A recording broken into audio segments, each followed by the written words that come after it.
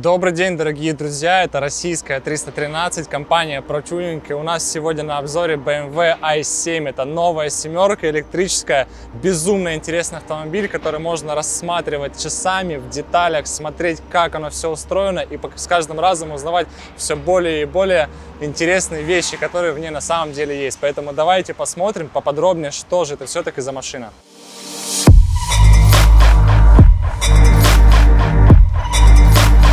Во-первых, хочется начать с передней части автомобиля, с ее лица, так скажем. А многие, когда видели эту машину на фотографиях впервые, на видео, сразу сказали, что нет, она смотрится некрасиво, никому она не нравилась.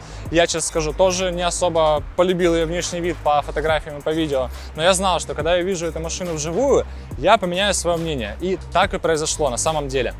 А, во-первых, хочется начать говорить с ДХО, а, который у нас э, встроен над фарой. Внутри у нас стоят а, имитация кристаллов Сваровских, над э, которыми, за которыми находится светодиодная лента, которая подсвечивает все грани этих кристаллов. А еще, если машина стоит в ожидании, она начинает играть светом и подсвечивает абсолютно все плоскости этих э, кристаллов.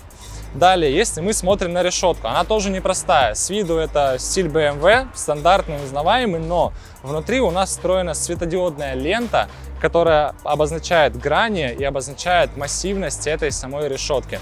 Несмотря на то, что машина очень сильно переработалась в плане стиля, в плане дизайна, это все еще узнаваемая BMW, несмотря на ее решетку большую в стиле BMW, как у всех, в принципе, идет сейчас в новых кузовах, даже бампер сам, он остался в такой же стилистике. А еще это BMW i7, это электрическая машина и выдает ее то, что э, логотип BMW окантован в голубом цвете. Это отличительная особенность именно электрических версий всех BMW.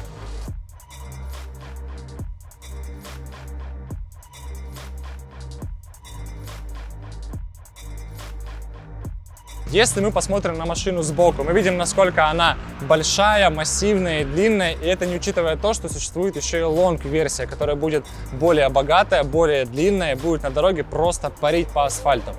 А, посмотрев на диски, хочется сказать, что они действительно футуристичные, ни на что не похожи, свои, такого еще я нигде не видел. И если присмотреться, то на одной из спиц мы видим надпись э, BMW Individual, которая сделана гравировкой.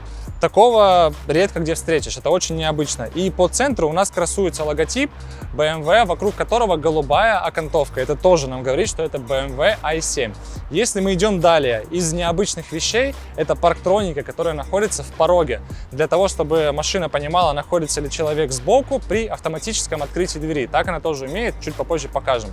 А, у нас имеется панорамная полностью крыша, а, тоже это элемент люкса, роскоши, задняя форточка в стиле BMW, узнаваемая, э, с долгими годами они делают ее именно в таком формате, но здесь она обыграна такими треугольниками, тоже очень необычное решение и которого еще нигде не было. Ручки автомобиля тоже выполнены необычно, то есть нет у нас стандартной ручки, за которую можно взяться, просто засовываете руку внутрь, нажимаете кнопку и дверь открывается. Тоже очень необычно.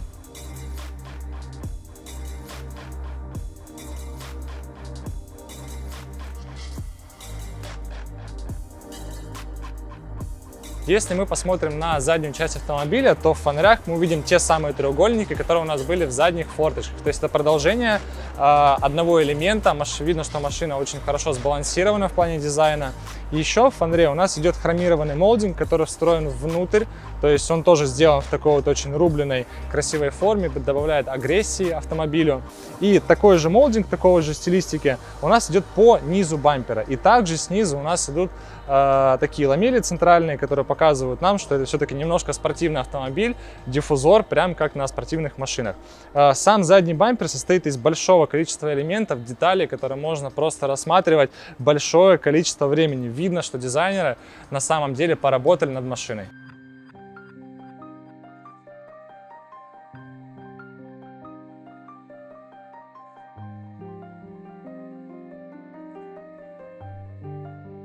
Перед тем, как мы зайдем в салон, хочется показать те самые автоматические двери. Мы просто нажимаем на кнопку, отходим от машины, чтобы парктроники не видели препятствия, и дверь сама открывается. Такая магия получается, безумно классно.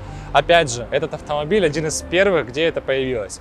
Если мы смотрим на дверную карту, насколько красиво, насколько сбалансировано все сделано, э, акустические сетки динамиков, э, музыкальная система Bowers Wilkins сделаны в новом формате, в новом стиле, очень хорошо это все выглядит.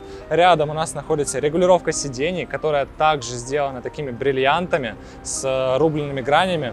И в двери у нас идет подсветка. Не просто контурная подсветка линии, а также в ней присутствуют те самые грани, то есть все друг с другом очень хорошо сочетается. Э, стандартные кнопки, стеклоподъемников, настройки зеркал, то есть все, что есть на остальных автомобилях. И э, одна особенность этой дверной карты, это то, что нету ручки открывания дверей, есть просто кнопка. То есть вы изнутри нажимаете кнопку, и дверь автоматически открывается. Если мы садимся за руль, что мы видим? А, вроде бы узнаваемый руль в стиле BMW, но нижние его грани сделаны такими же рубленными кристаллами, безумно красиво смотрится. На центральной консоли у нас с одной стороны узнаваемый блок управления BMW с кнопкой старт-стоп, с шайбой управления а, мультимедиа, с рычажком переключения режимов езды, то есть драйв, паркинг, нейтралка и так далее. Но все это сделано по-новому. Очень красиво смотрится. Также контурная подсветка у нас идет через весь салон и подсвечивает все, что вам необходимо. А за рулем у нас находится цельный экран, в котором расположена приборная панель, и справа от него в одном как раз таки корпусе стоит система мультимедиа. А еще самый главный экран этого автомобиля находится не здесь, а на заднем ряду. Это огромный экран, который опускается с крыши, и на нем можно смотреть фильмы, кино, все, что вам необходимо. Он находится прямо перед вами. Это очень удобно, это очень комфортно. В общем, любой человек, кто туда сядет, скажет, что это то, что нужно в дорогу. А еще есть экраны на заднем ряду в э, дверных картах. Через них вы управляете э, автомобилем, системами комфорта, обдува и так далее.